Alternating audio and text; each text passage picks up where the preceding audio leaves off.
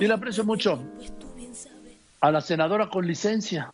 Nunca pensé decirte así, Vanessa. ¿Cómo estás? Buenas tardes.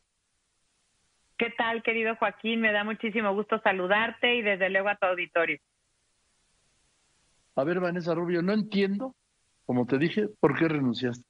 ¿Por qué pediste licencia, perdón?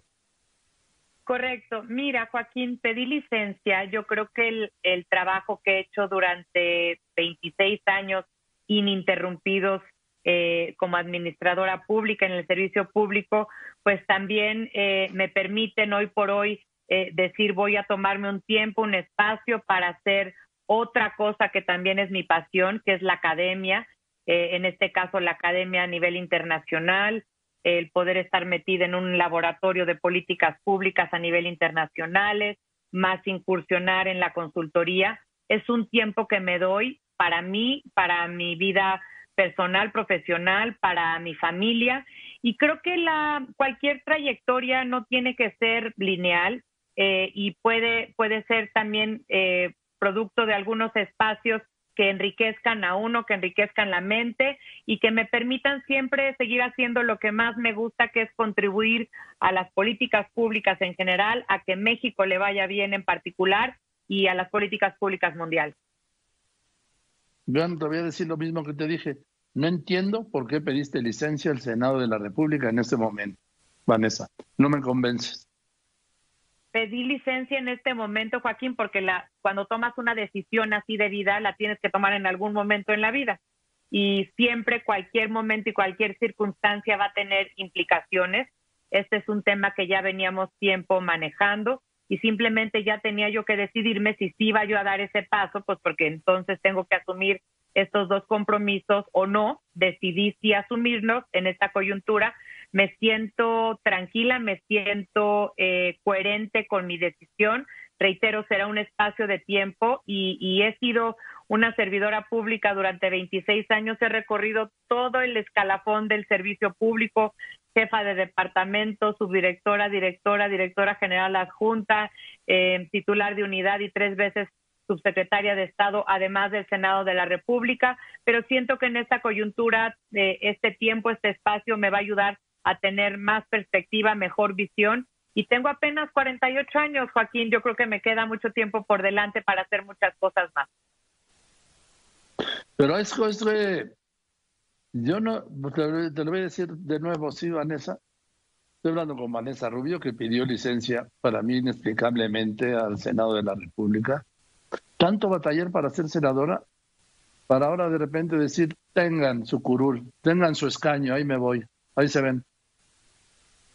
Mira, me gustaría comentarte ahí, yo eh, cambié del, servicio público a la política, para mí fue un cambio muy grande, lo comentamos ya en varias ocasiones muy distinto, los incentivos, el día con día, los objetivos del servicio público y de la política son, son muy diferentes. Eh, he aprendido mucho estos dos años. Yo incursioné en política por un proyecto de país, por apoyar a una persona que representaba ese proyecto de país. Ahí fue mi incursión. Eh, la situación derivó Antonio en que eh, Correcto, Pepe Mid, la situación derivó en que fuera yo considerada para las listas nacionales. Luego te dicen, como plurinominal no haces, no haces campaña. Bueno, yo hice campaña no por mí, pero hice campaña por el proyecto y por Pepe Mid a nivel nacional, eh, eh, mañana, tarde, noche y madrugada. Y bueno, al final del día también en democracia se debe de saber perder. Perdimos, lo asumimos y hemos venido trabajando estos dos años con mucho ahínco, con, mucha con mucho profesionalismo, como siempre, todo lo que hago, denunciando los temas que creo que había que denunciar, abriendo eh, eh, opciones para el diálogo, muchas veces muy complicados, y señalando sobre todo los temas en los que yo más conozco, que es eh, la falta de crecimiento en México y la imposibilidad de que esa falta de crecimiento en México nos permita tener más prosperidad, eh, tener más empleo y abatir la pobreza. Así es que siempre he estado dedicada cuerpo y alma a lo que a lo que hago y reitero, pues simplemente es un espacio de tiempo, una decisión en esta coyuntura como la pude haber tomado en cualquier otra coyuntura eh, para para dedicarme a esto, para darme tiempo y reitero, tengo 48 años, he hecho muchas cosas en mi vida y estoy segura que voy a hacer muchas más para adelante. Sí, de eso no tengo duda, pero todo lo que me dijiste que has hecho ahí en el Senado son razones para que permanezcas, no para que te vayas. Mira, yo creo que siempre todos los días en política pública administra uno crisis, administra uno y toma uno decisiones difíciles, ¿no? No siempre, no siempre eh, es nada más estar en un escritorio pensando en política pública. Me ha tocado desde prevenir una crisis eh, eh, financiera y económica en 2017, que nos bajaran las calificaciones crediticias, que la economía no creciera, y, bueno, justo fue todo lo contrario. en ese contexto tan complicado en el proceso electoral de Estados Unidos, eh, logramos que no nos bajara ninguna calificación crediticia, que además no las mejoraran, que creciera la economía mexicana y que hubiera estabilidad. Luego es bien difícil ver lo que pudo haber sido y, realmente orgullosa con ese tipo de acciones, con acciones también que tomé eh, en relaciones exteriores, por ejemplo, que me tocó negociar la Alianza del Pacífico y cerrarla. Fui la primer negociadora de eh, el, ahora TEMEC en la parte de servicios financieros y, en efecto, yo creo que he aportado, he aportado mucho, seguiré aportando desde donde estoy, pero en una esfera distinta, en un momento distinto, por un periodo de tiempo distinto. Y creo que ese periodo de tiempo me va a ayudar a mí como persona a tener también más perspectiva y ver hacia adelante eh, en dónde van a estar mis áreas de contribución y de, y de acento y de dedicación. Creo que es un tiempo que que me quiero dar es válido y reitero, yo creo que el servicio público como cualquier otra profesión no tiene que ser lineal, puede tener estos espacios de tiempo que enriquezcan a uno y que además te den una un vigor y una y una visión distinta para para regresar con fuerza eh, y, con todo el ahínco que siempre me ha caracterizado. Yo, mira, por los años que tengo de, el gusto de conocerte y por lo que te admiro, pues no te acepto ninguna de tus respuestas. ¿Sí? Porque yo no acabo de entender que pidas licencia al Senado, ¿sí? Cuando todo lo que me has dicho son puros argumentos para que no te vayas, son puros argumentos para quedarte por el momento que se vive el país y que vive el mundo, ¿sí? Es correcto, y yo respeto como tú, hay mucha gente que piensa y por eso para mí es importante salir, decir mis razones, eh, explicar mis circunstancias y bueno, pues al final del día creo que, también se vale eh, tomar este espacio. Hoy por hoy, Joaquín, está siendo muy difícil lograr incidir en, en las decisiones, lograr incidir en el cambio de rumbo del país. Podemos tener visiones similares porque pues queremos crecimiento, queremos prosperidad, queremos seguridad, queremos acabar con la violencia, queremos tener instituciones fuertes. Eh, el tema es que eh, los espacios para poder incidir en esa toma de decisiones pues están, están muy reducidos, muchas veces anulados. Y bueno, no he dejado de estar presente en el Pleno, también en los medios, pero realmente, eh, y, ya viéndolo de manera práctica, pues los, los márgenes se estrechan muchísimo de la posibilidad que tiene uno de incidencia. Por, ojalá en el futuro los márgenes de incidencia, de diálogo, de, de concertación sean más, porque es lo que merece el país y, estoy dispuesta desde luego a seguir sumando hacia adelante porque me interesa mi país y porque me interesa construir un mejor México y, un mejor mundo. Entonces, eh, eso nunca lo dejaré, siempre será una prioridad en mi vida, pero creo que reitero, este espacio de, fortalecimiento, de repensar, me, va a hacer mucho más, eh, mucho más robusta, intelectualmente y al final del día creo que me va a dar una perspectiva que necesito mucho, reitero, en un contexto donde están siendo nulos o, muy, muy acotadas las posibilidades de incidencia. Pues por eso mismo, por tu preparación y por tu decisión y por tu fuerza, es necesario que siendo nulos o muy estrechos esos espacios, haya eh, senadores, legisladores como tú, personas como tú, que estén para dar una batalla, no para irse, Vanessa. La batalla la voy a seguir dando, no es una batalla que solamente se pueda dar desde un escaño, la batalla la voy a seguir dando por lo que creo, por lo que pienso, por donde creo que debe de ir el país. Y al final del día, eh, yo creo que sí, en esta coyuntura también se vale pensar si lo que quiere uno es seguir siendo, como yo les digo, de repente el siguiente punto del orden del día porque al final del día llega uno preparado a la comisión con tus argumentos, con tus números, con tus justificaciones y a la hora de los votos, pues en las comisiones somos dos o tres que levantamos eh, la, mano a favor de algo, diez o trece en contra y acaba siendo el siguiente punto del orden del día.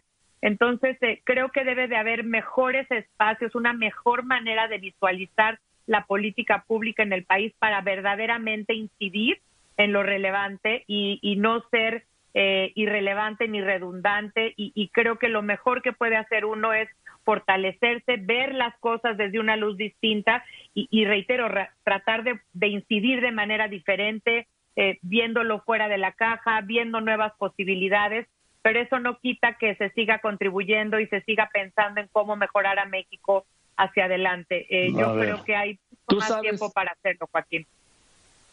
Tú sabes que eh, yo te conozco hace mucho tiempo, tengo el gusto, te conozco muy bien, sé cómo eres transparente, decente, preparada, decidida, pero te están relacionando tu salida con la tu salida con la llegada de Emilio Lozoya, ¿lo has escuchado?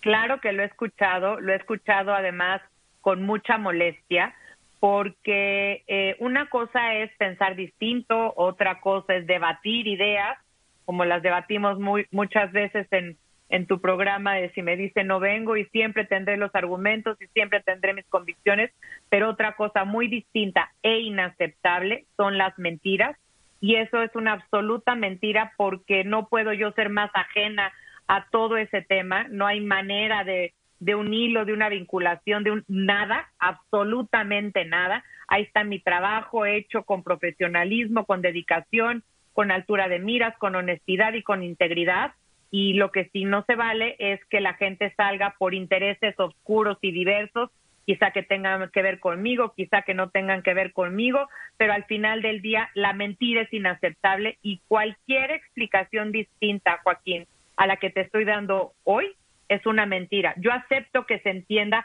acepto que no se entienda mi explicación, acepto que se apoye mi explicación, acepto que no se apoye mi explicación, eso es válido. Lo que no se vale es especular y especular con mentir. Porque eh, en el momento en que él fue director de Pemex, tú eras eh, subsecretario de Relaciones Exteriores, ¿no? Es correcto, estaba yo restableciendo la relación con Cuba, estaba yo cerrando la negociación de la Alianza del Pacífico, estaba yo viendo temas de la infraestructura fronteriza entre México, Guatemala y México, Belice, estaba yo atendiendo la crisis de menores migrantes no acompañados. Ese era el trabajo que hice por, por tres años durante los primeros años de la administración pasada. Reitero, con mucha pasión, con mucha dedicación, cumbres en México que no habían tenido lugar, como la cumbre con los estados del Caribe, la cumbre con Centroamérica. Así es que muy dedicada a la relación de México con América Latina y el Caribe y, y dando siempre como, como ha sido toda mi vida, toda mi entrega toda mi dedicación, todo mi profesionalismo a ese trabajo que tenía yo encomendado en ese momento. Bien, ahora estás de, le estás quitando un escaño al PRI porque tu suplente renunció al PRI. Qué bueno que comentas eso, Joaquín, y creo que es importante aclararlo y aclararlo bien. Eh, la fórmula con la que yo fui al Senado es una fórmula que seleccionó el partido. Yo me siento muy honrada de que me hayan seleccionado como titular pero escogieron en su momento a mi suplente como una priista de CEPA, como una priista de toda la vida trabajando en ese instituto político, que había sido eh, diputada federal, que había tenido varios cargos en el partido a nivel local en Baja California y quien a últimas fechas ha tenido desavenencias con la dirigencia del PRI local en Baja California. Y dicho por ella la semana pasada que hablé eh, para comentarle el tema, me dijo, mis desavenencias fueron con el PRI local, de donde yo estoy eh, ya no participando es de eh, la base de datos del PRI local, sigo apareciendo en las listas nacionales como miembro del PRI y voy a hablar con el senador Osorio y voy a hablar con el presidente Alejandro Moreno, con quien sé que ya ha estado en pláticas, así que yo espero que dentro del propio PRI ese tema se pueda solventar. Pero reitero, el, eh, el, el, Partido Revolucionario Institucional eh, eligió a una prista de toda la vida para ser mi suplente y estas eh, diferencias han sido de su parte con el PRI local y dicho por ella sigue siendo parte de las listas nacionales del PRI. Yo espero que tanto Alito como Miguel Osorio puedan eh, encauzar el proceso con ella. Bueno, pues Vanessa, sabes que como te lo dije personalmente, estoy muy decepcionado de que hayas pedido licencia, pero pues el cariño no cambia, ¿sí? El cariño es recíproco, Joaquín, siempre te voy a respetar, siempre te voy a admirar. Y bueno, eh, esa es la decisión que he tomado de vida, estoy, estoy completamente consciente de ella y la estoy haciendo con, con la mira que siempre he tenido puesta en que debo de ser más fuerte, en que debo de eh, poder ayudar a mi país desde esta trinchera, pero también desde muchas otras, y eso no lo quito bajo ninguna circunstancia. Aquí estoy dando la cara, siempre dando las explicaciones. A lo mejor, Vanessa, parte de mi de mi desaveniencia contigo de que hayas tomado esta decisión de vida, cuando me dices que tienes 26 años de vida pública, si yo tengo el doble de años que tú en mi trabajo y nunca me atreví a tomar una decisión así. Quizás la debería haber tomado, pero no la tomé y no me arrepiento. En fin, te mando un beso y te deseo suerte y espero que nos veamos cuando regreses a recuperar tu escaño en el Senado de la República, porque a esto le faltan cuatro años. Así es, Joaquín. Muchas gracias. Y yo también no me arrepiento de la que he tomado yo, pero bueno, pues muy válido lo uno como lo otro. gracias, Joaquín. Bueno, gracias Vanessa, te mando un abrazo. A ti, un abrazo con cariño. Gracias. Que esté muy bien, Vanessa Rubio. Pues sí, toma tu decisión. A lo mejor yo por eso, pues no. En fin, yo estoy en desacuerdo de que haya pedido esta licencia. Yo creo que hace más falta en el Senado una mente y una personalidad como la de Vanessa Rubio que en la academia o en la consultoría, pero cuando, cuando alguien toma una decisión, sobre todo una mujer, cuando toma una decisión, es mucho más fuerte que un hombre y la sostiene con más fuerza y con más decisión que cualquier hombre. Ella dijo, me voy y se va.